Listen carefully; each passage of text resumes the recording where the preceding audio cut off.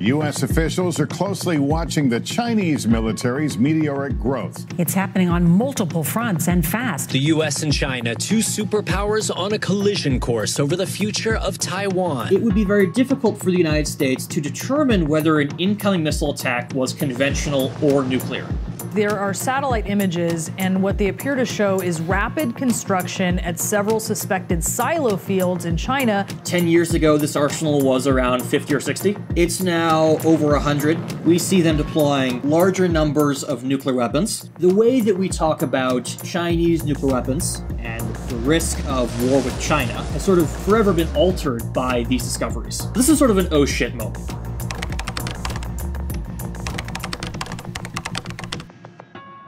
My name is Decker Wolf. I am a satellite imager analyst specializing in Chinese nuclear forces. We can use satellite imagery to look at the rocket bases, and we can use it to see the movement of launchers and supply vehicles to their forward operating bases. Things like ships mustering, troops moving to ports, those sort of signatures.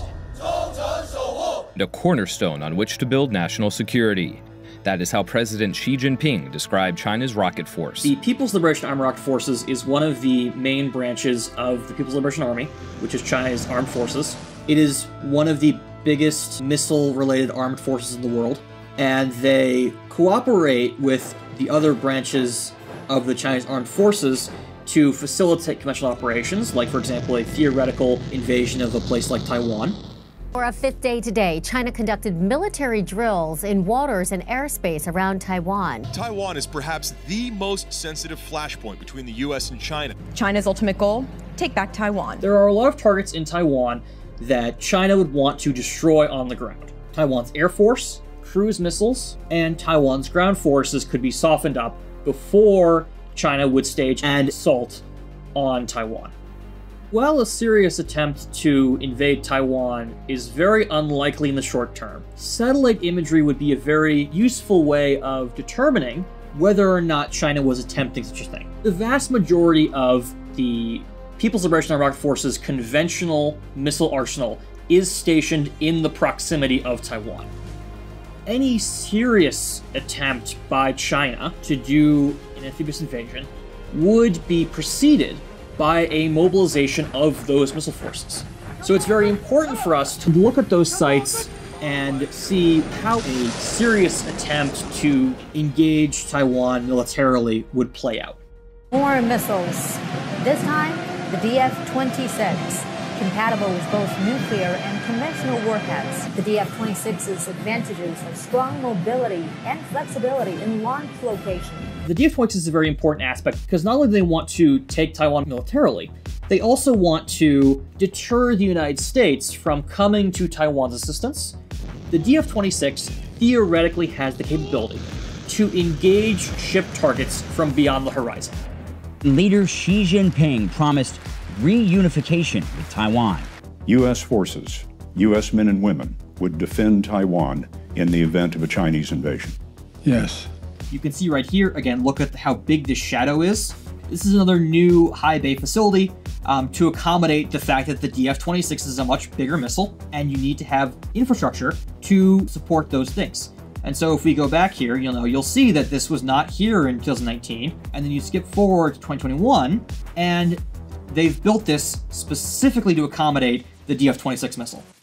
Because the DF-26 can carry both uh, conventional warheads and nuclear warheads, it would be very difficult for the United States to determine whether an incoming missile attack was conventional or nuclear. So if the United States want to try and strike a DF-26 launcher before it could launch, it's not clear how much that military strike would trigger a more serious reaction.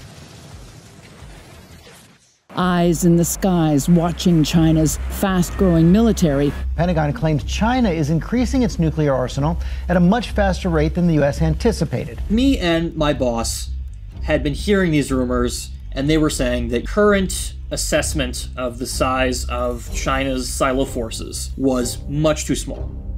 There's a known training site in China called Jilantai. And it's the place where the Rocket Force goes to practice things like missile launches and training their forces. And so at this facility, there's a bunch of test pads we started seeing these very large inflatable covers go up. So when we looked at these and when we looked at the supporting infrastructure they built here, we can create a signature of what similar sites could look like. So as I was going through China, I noticed a site near the city of Yumen that had covers. So we looked at the covers at Jilantai. And when we looked at the sites at Yumen, the covers that they're placing there are exactly the same. And they're all in this very particular geometric pattern, and they're all spaced exactly the same length apart, three kilometers, and they're everywhere. They're up and down the valley. And they again have these cables running between them. We see the underground command structures they're building over here. We see very clear signatures of a military facility. This is the main area up here. There's an admin building. There are garages. There's a track and field because people are going to, you know, work here um, and they're going to exercise here. One other very interesting signature of rocket force bases is that, well, they're launching missiles. You want to know the weather. And so at these facilities, they all build weather stations. These weather stations all look really, really similar. So that's an additional signature we use to identify these facilities. We are witnessing a strategic breakout by China. New satellite imagery showing what analysts describe it as an unprecedented nuclear buildup in China. Not one new silo field, it's three, and not just a few new missile silos, it's hundreds. There's two big things as to why this was such a massive change. The first is simple numbers. The previous number of ICBMs that China had was around 70 or 80 at this time period. So to see them building 330 was really significant development. China is pushing to develop its nuclear capabilities, its strategic intercontinental capabilities. This could signal a very serious change in China's nuclear posture. Now that they've built them, it would be much easier for them to shift their strategy to be a lot more not only aggressive, but use these weapons in ways that would make the risk of war between the United States and China much more worrying. On the list of things that keep me up at night, I think it's around number three. After climate change and North Korean nuclear weapons.